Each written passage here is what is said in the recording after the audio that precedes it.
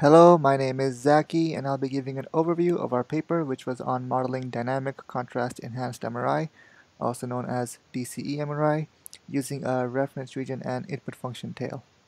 DCE MRI involves a series of images with a tracer. The end result looks like a movie showing the arrival and uptake of the tracer. The tracer concentration varies as a function of time and we can get quantitative estimates by fitting a model to the data and looking at the fitted parameters. The model in this case was the extended Tofts model. And what it says is that suppose there's a voxel with some cells, then the uh, space between the cells is described by VE. And if there's a blood vessel passing through the voxel, then the volume occupied by the blood plasma is VP. And there, the contrast agent or the tracer is in the blood vessel, so the rate at which it leaks out is described by K trans while the reverse process is described by Kep. To estimate these parameters, we need to know two things. The first is the concentration in the voxel, and the second is the concentration in the blood vessel, which is also known as the arterial input function. The arterial input function is hard to measure because it requires a fast sampling rate in order to characterize the initial peak. So in this case, this input function was sampled every 5 seconds, but had it been sampled let's say at 15 seconds, then the initial peak would have been missed entirely. The problem with using a faster scan is that it requires making sacrifices to image quality. Since the input function is so hard to measure, one alternative is to use the reference region model, which uses a reference tissue, such as muscle, instead of the input function. The advantage of using something like muscle is that even if the sampling rate is low, the curve shape itself does not substantially change. However, while the Tofts model gives us K-trans, VE, and VP, the reference region model gives us relative parameters. For example, it gives us K-trans in the voxel relative to K-trans in the reference region. And so if we want the actual K-trans, we have to know what the K-trans is in the reference region itself.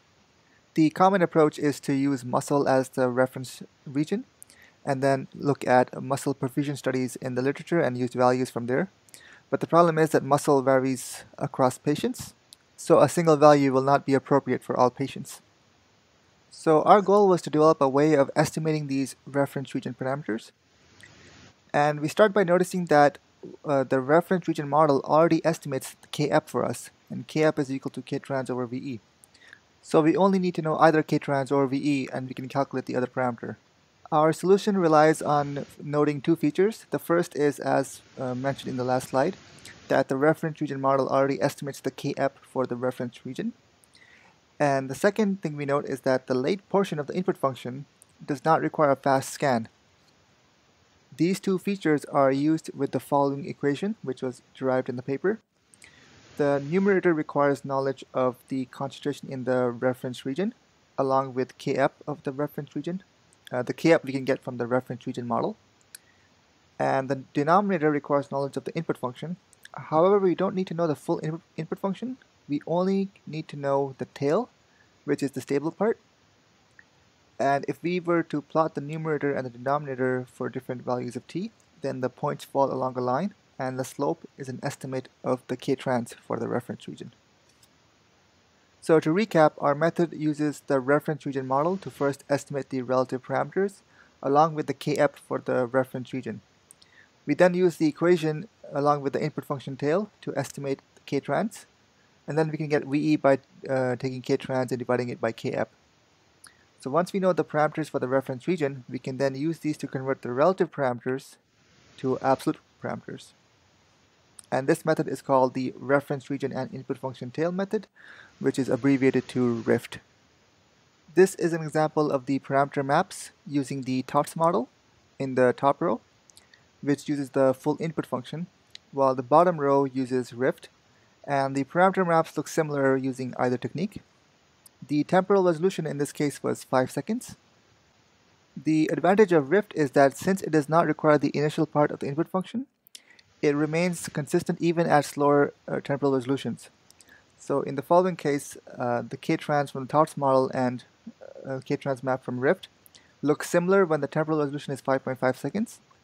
However, if the data was downsampled to 33 seconds, then the map from the Tofts model becomes underestimated, while the map from the RRIFT method tends to stay consistent, meaning that we can use the RRIFT method even at a slower temporal resolution and still get maps that resemble a high temporal resolution scan. Another thing to note is that the tail part of the input function is not only easier to measure, but it's also more consistent across patients. For example, these two input functions are from two different studies. These are population averages, where the error bars indicate the standard deviation. The error bars are largest around the peaks, whereas in the tails, the error bars are quite small. What this indicates is that rather than having to measure an input function tail, we could assume one from literature, and it might work just as well. So we tried this in the study, and we got a pretty good agreement between using a measured input function tail versus a literature-based input function tail, both using the RRIFT method. In conclusion, we proposed a method for analyzing DC MRI using a reference region and input function tail. Since this method does not require the initial part of the input function, it is viable at slow temporal resolutions down to 30 seconds. If an input function tail cannot be measured, then we can assume an input function tail from literature. Lastly, the code for the study is available on GitHub. I would like to thank the Cancer Imaging Archive for providing the DC MRI data, along with the following sources of funding, and thank you for watching.